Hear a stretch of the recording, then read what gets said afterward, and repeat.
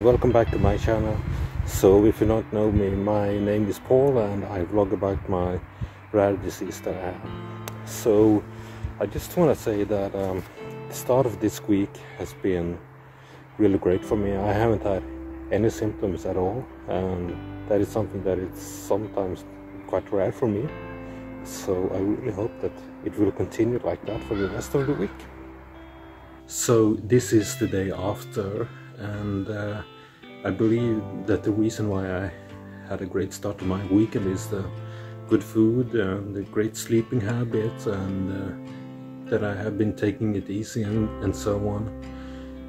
But actually now I started to feel very tired in my brain. A lot of brain fog just came like that about two hours ago and that's always very difficult because it's not like I can feel before that it is about to to happen. It just happens. It's so tiresome. And I have a, a couple of colleagues that also suffer from brain fog because of uh, stress or uh, other neurological diseases. And they all say like when it hits it really hits so so fast. It's like this. And uh, when you have this kind of brain fog the obvious question is what can you do to relieve the symptoms? And for me it is just to just go to a calm and quiet place sit down for a moment and just let my brain rest. Go grab a coffee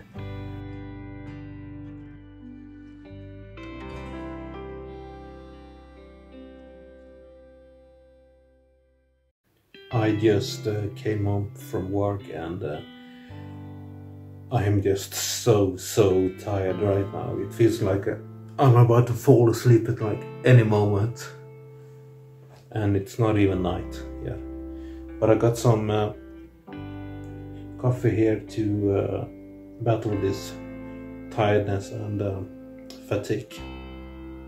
And if you haven't heard about fatigue before, it's uh, it's like uh, a very special kind of tiredness that uh, can occur in uh, many neurological diseases. It's like your body just completely shuts down and your head too and that is how it feels for me at this moment. It just feels like my body and brain are just completely shut down. It's like I have no energy at all and you can probably see it. I am just so so tired. Today I actually had plans to pass by the sports store because my bike broke down a couple of days ago and uh, I decided not to do that and just to go home and uh, take it easy. I'm just probably going to watch the World Championships in athletics tonight from Budapest or uh, as you American call it, the World Championships in track and fields. I can fix my bike some other day. And uh, speaking of uh, fatigue and brain fog, that actually feels just exactly like you are run over by a train or a semi truck or something like that.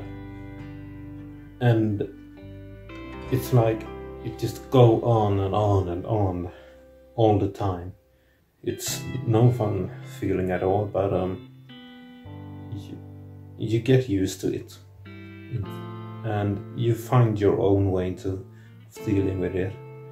I deal with it by just uh, taking it easy, let my brain rest. It's just super important. Uh, and I I am actually a person that wants to be active uh, and that it's difficult when you have this brain fog fatigue because it's like you cannot at least i cannot do anything that is physically too demanding for me. But uh, i can still do things with my brain like watch movies or uh, edit this vlog maybe. And yeah there is something else that i want to talk about before i end this vlog and that is if you are a frequent watcher of my uh, vlogs, you might think that uh, I only vlog on, on bad days and that I only do have bad days and uh, the first one is true. I'm, I almost only vlog on on days that are bad for me because it's sort of a therapy for me. And uh, if you do have the same problem, I, I highly recommend it because uh, really, really helps. It's like talking to someone. And uh, I just forgot what I was talking about, and that's a symptom for me that my brain is shutting down. Yeah, the, the thing that I want to add that I forgot to add is that I do have um, quite many days that are actually good days.